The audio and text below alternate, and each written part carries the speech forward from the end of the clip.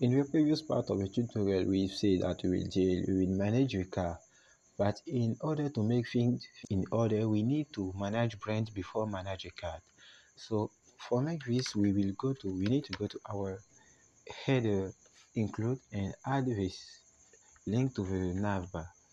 So let's go button and see where we have the cars and duplicate the link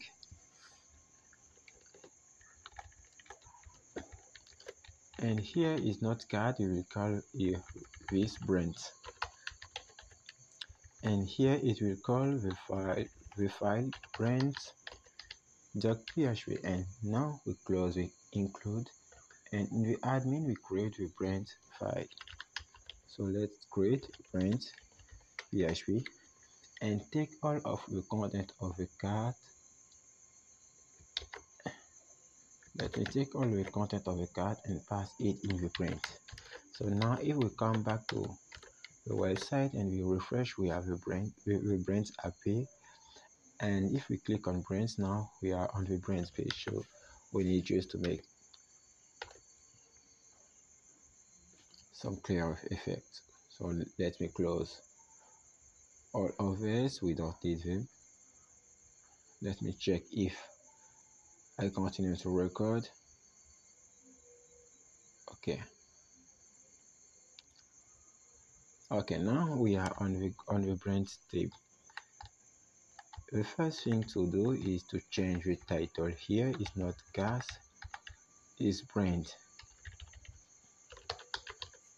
And now it's not open car model it's open brands model. And let's say that the title is add new brand. Okay. And the thing that we want we want if sorry if we click on the add new brand we want to open the pop-up by default. The pop-up will not work because we, we've changed the class. And we need to go to bottom. And after initialize jQuery we need to call now we click when we click on the button on the element with this class open brand model. We want to open this model. And now it's not car model it's brand model. And let's copy this and go to the model and then replace the name of the model. Replace the id of the model here. And add brand model now if you come back and you refresh and you click on add new branch you will get this model appear good. So now let's come back here and remove this title. Let's give some id and is model title for this id and we will display this id with this title when we open the pop-up. So now let's say is that let's say with text. The model will be. Add new brand for cars.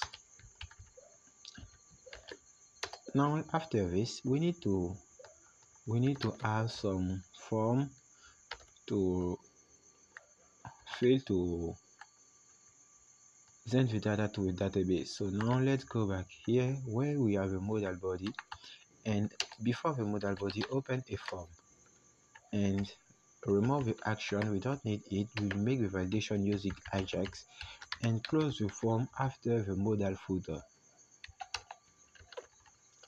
Now in the modal body open a row because we use bootstrap and make one call for and inside this call for you call a label and you say the label name is brand name and after call a call. And now is 8 and let's say we have some input. With the class name of form control let's test this. And for this input let's give it the id of brand name and bottom and the footer. For the first button let's say that the tip is not button the tip is submit. And is not save change is save let's say is save brand. And now let's save this and refresh. Now when we click on add new brand we fall on this form. And if we click save brand we have this refresh action so we want now to start with the form validation so for start with form validation you need to give some id to the form. So for this form i say that this id will be brand form. Okay? So now let's go bottom. And where we when where we start with jQuery because here is for open the model let me add some comment is now the next is to let's see that manage the form first we will use the document and we will use the on. We list on the, on the submit event.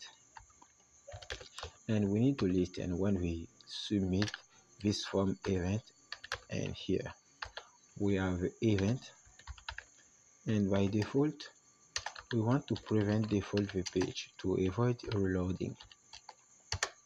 By processing like this we prevent default if, if we come and we refresh one more time and now we open the pop-up and we click on save range you will see nothing nothing will appear because we prevent the default. Okay.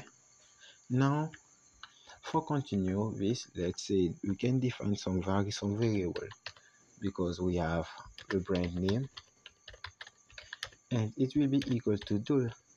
Let's say it will be equal to we have give brand name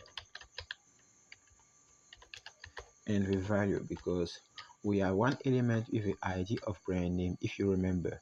Let's go to top to show you uh, inside the model. Let's see. For the for this for the input the id is brand name. So it's the brand name that we declare bottom here. And now is a variable. And let's say that if brand name. Is not empty.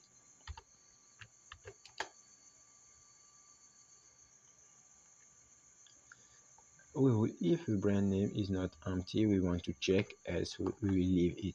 So if the brand name is different empty the thing that we want we want to submit the data. So we will call the ajax method and the ajax method takes some parameter. The first one is a url the second is a method.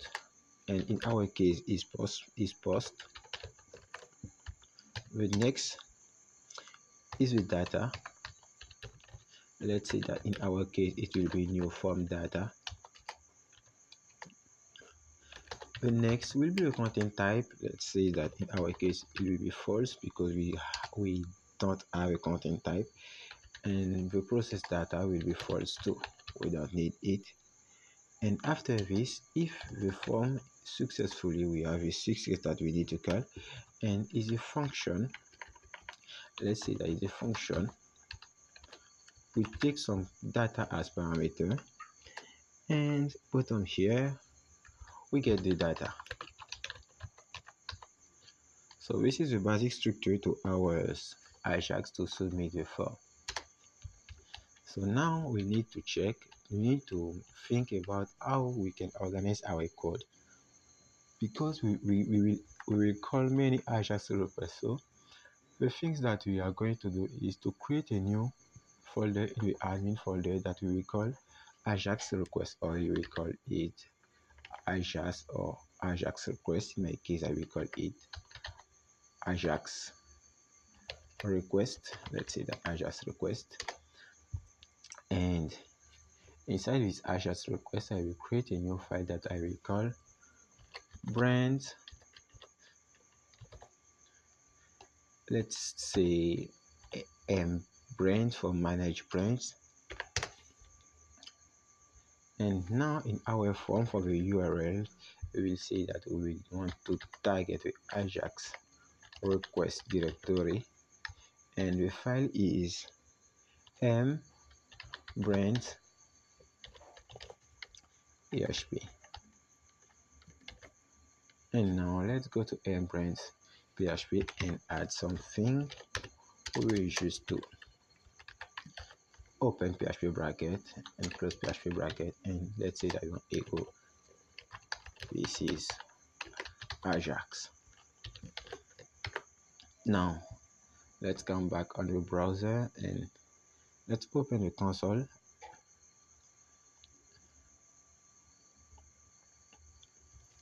And now let's refresh this one and click on add let's click on add new brand and add something and click on save.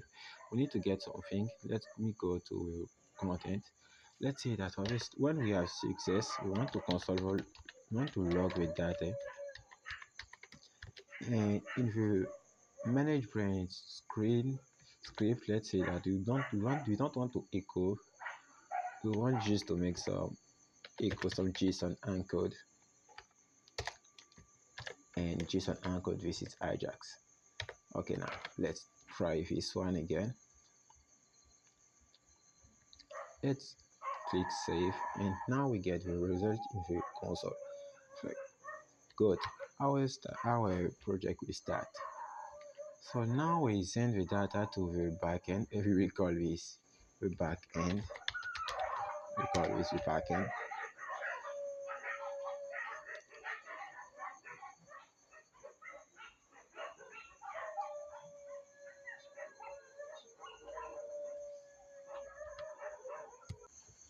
and now we have this is ajax in the console so we can continue. The next thing to do is to insert in this data database. But before insert let's go to the model and add some let's say that we call some input for make the difference between if we are in edit mode or in store mode. So let's create an input and give it the id type. For the name let's give it the name of operation and give it the ID of operation.